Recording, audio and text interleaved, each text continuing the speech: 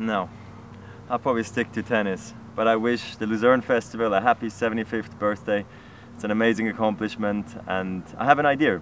I'll practice violin, not tennis, for another 25 years, and then maybe we can celebrate the 100 years together. How about that?